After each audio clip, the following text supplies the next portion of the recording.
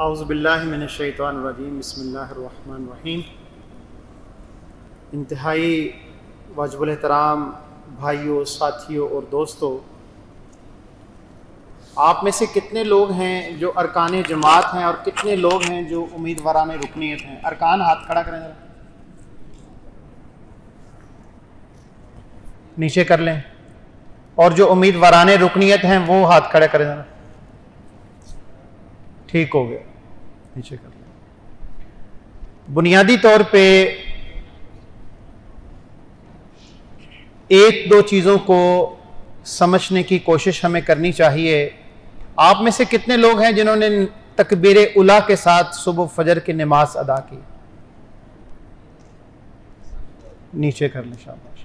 लेकिन इस एतबार से भी आप देख लें कि इस छोटी सी इज्तमाहीत के यहाँ जब हम मौजूद हैं तो यहाँ पे भी कुछ हाथ अभी ऐसे हैं कि इस मस्जिद के अंदर रहते हुए भी हमें इस ट्रेनिंग और तरबियत गाह के अंदर मौजूद, मस्जिद और अल्लाह के घर के अंदर मौजूद रहते हुए भी हम तकबीर उला को अगर नहीं पा सके इस मस्जिद में अल्लाह ताला के मेहमान की हैसियत से तो रोज़मर्रा ज़िंदगी के अंदर इसका मामला क्या होगा?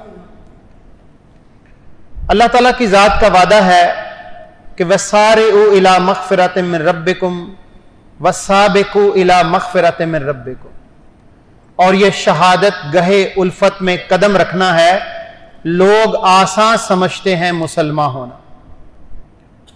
तो बुनियादी तौर पे ये एक सादत है, और इस सादत को हासिल करने के लिए जो जिद्दोजहद और कोशिश आपको करनी पड़ती है, जिस आजमाइश की भट्टी में से हम सबको गुजरना पड़ता है और उसके नतीजे में अल्लाह ताला की रज़ा और उसकी खुशनुदी जो हमें हासिल होती है तो ये बुनियादी तौर पे मतलूब और मकसूद है।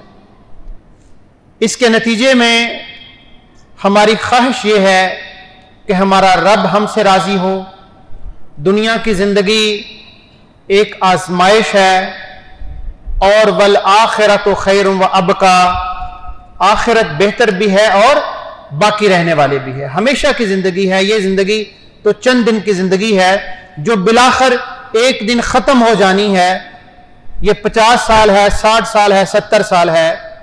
इसी तरह आपने देखा होगा कि जब जंगें हुआ करती थी तो जो पहली सफ होती थी, फिर दूसरी सफ होती थी, फिर तीसरी सफ होती थी तो जंगों के अंदर बिल्कुल अपनी सफों को मुनजम किया जाता था।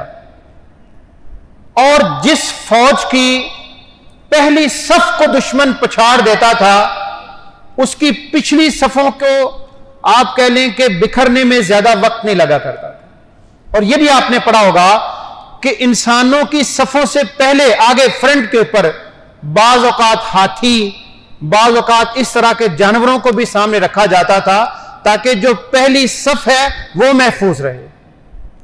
इसी तरह आप इमाम के पीछे खड़े होते हैं, आप पहली सफ में हैं, दाएँ हाथ के ऊपर हैं तकबीरला को आपने पाया है, नवाफिल और सुन्नतें आपने अदा की हैं तो आपके अजर और हैं और अगर आप दूसरी रकत में हैं, आप दूसरी सफ में हैं, आप तीसरी सफ में हैं, और आप बिल्कुल आखिर में आके मिले हैं तो अजर सवाब के अंदर बहुत ज़्यादा फ़र्क आ जाता तो ये जो उम्मीदवार ने रुकनीत है, मैं एक छोटी सी मिसाल दे के अपनी बात को खत्म करता हूँ। मेरे बड़े भाई पाकिस्तान मिलिट्री एकेडमी ककूल एबटाबाद में ये जो कैडेट्स भर्ती होते हैं, सेकंड लेफ्टिनेंट भर्ती होते हैं इनको फ़िज़िकल ट्रेनिंग देते थे। मुझे उनके पास बारहा जाने का मौका मिला। एबटाबाद के लोग भी या सुबह सरद के लोग भी यहाँ पे मौजूद होंगे। वो कहते थे कि बिलखसूस दिसंबर के अख्ताम पर और जनवरी के आगाज़ में जब बर्फबारी मुतव होती थी तो एक विसल होती रात के ढाई बजे और तीन बजे। और पहली विसल दूसरी विसल और तीसरी विसल। तीसरी विसल के ऊपर हर कैडेट को ग्राउंड के अंदर अपनी अटेंडेंस को फॉलो करवाना होता था और जो कैंडिडेट या जो कैडेट तीसरी विसल के ऊपर ग्राउंड के अंदर मौजूद नहीं होता था 20 किलो का पिट्ठू उसकी बैग के ऊपर लगता था और वो सारा दिन मिलिट्री एकेडमी के अंदर चलता रहता था, बैठना उसको अलाउड नहीं होता था।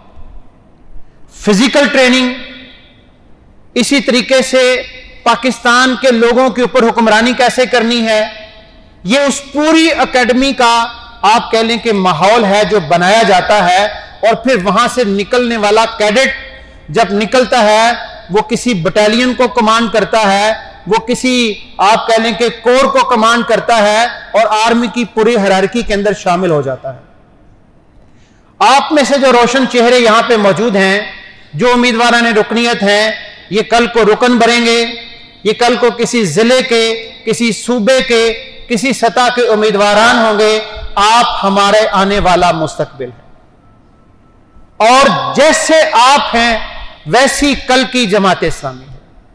जैसा आपका अखलाक है, जैसा आपका किरदार है, वैसी आने वाली कल की जमात है। अगर आप अच्छे हैं अगर हमारे बुज़ुर्गों को देखकर, मौलाना मौदूदी को देखकर, मियाँ तुफैल को देखकर, उनके वक्त की पाबंदी को देखकर अगर लोग अपनी घड़ियाँ ठीक कर लिया करते थे तो आज हमें सोचना चाहिए कि हाफिज सैफुर रहमान साहब यहाँ पे मौजूद थे और 11 बजे का वक्त था तो आप आने वाला मुस्तकबिल हैं और अगर आपको बार बार बुलाया जा रहा था तो हमें अंदाज़ा करना चाहिए कि वो भी एक ट्रेनिंग एकेडमी है और ये भी एक ट्रेनिंग एकेडमी है।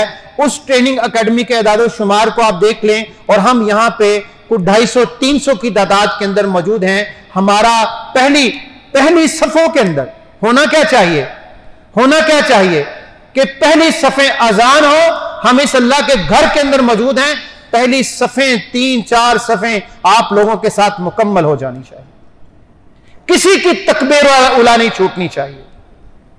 नमाज़ के बाद, अजान के बाद, अजान जब हो जाए, अल्लाह का हुक्म जब आ जाए तो सारी चीज़ें साकत हो जाती हैं। कोई तकरीर नहीं चलती रहनी चाहिए जब मस्जिद के मीरारों से अल्लाह अकबर अल्लाह अकबर की सदाएँ बुलंद होनी शुरू हो जाए। इसी तरह असकार को अपना मामूल बनाइए कुरान जिमुशान की तिलावत को अपना मामूल बनाइए। और देखिए, दो चीज़ें हैं बुनियादी तौर पर। एक है इबादात और दूसरी है मामलात। एक है इबादात और दूसरा क्या है? मामलात। इबादात के अंदर भी बहुत आला सतह के ऊपर पहुँचना और मामलात के अंदर भी उससे बेहतर सतहों के ऊपर पहुँचना, ये दो बुनियादी नज हैं अगर हमारे अरकान और हमारे अरकान, हम तमाम लोग, मुझ समेत, हम सब लोग अपनी इबादात को भी और अपने मामलात को भी। हमारा वादा है किसी के साथ। हमने किसी से रकम ली है, वापस देनी है। हमने किसी के साथ कोई कमिटमेंट की है। हमने कहीं पे पहुँचना है। हम किसी तरबियतगाह के अंदर शरीक हैं। इसी तरह ज़िंदगी के जितने मामला हैं, इन तमाम मामला को लोग आपको नहीं देखते, ये जहन में रखिएगा कि लोग ये समझते हैं कि आप जमात इस्लामी के कारकुन हैं, आप जमात इस्लामी के नुमाइंदे हैं बुनियादी तौर पर इसलिए वादे से लेकर ज़िंदगी के एक एक आप कह लें कि पाई तक अगर किसी की अदा करनी है तो मुझे और आपको ज़िंदगी के इन तमाम मामला के अंदर अपने आप को सफ़े अव्वलीन के अंदर शुमार करना होगा। इसलिए आप ये जहन में रखें कि वही लोग सहबा कराम की मिसालें यहाँ पे आपने सुनी तो एक बूढ़ी औरत है, इमाम राज़ी उसका वाक्य बयान करते हैं कि उसकी नज़रें हमेशा घड़ी के ऊपर रहती और वो अजान से पहले वज़ू के लिए तैयार हो जाती। उससे किसी ने कहा कि बूढ़ी माँ, अभी तो अजान नहीं हुई। उसने कहा, मुझे तो हमेशा इंतज़ार रहता है कि मेरा रब कब बुलाए और मैं उसके बुलाने से पहले अपने आप को तैयार कर लूँ। तो इसलिए अपने आप को तैयार कीजिए, अपने आप को मुनज़म कीजिए, अपने इबादात को भी और अपने मामलात को भी दोनों को ऑर्गेनाइज कीजिए। और आप जमात इस्लामी का मुस्तबिल हैं, आप उम्मीदवारान हैं, आप अरकान हैं, आप ही जमात इस्लामी हैं, आप ही आने वाला कल हैं आप ही रोशन मुस्तकबिल हैं और आपके हाथों में ही अकवाम की तकदीर है। अल्लाह ताला की ज़ात आपका सफ़र कबूल फरमाए, आपका यहाँ आना कबूल फरमाए।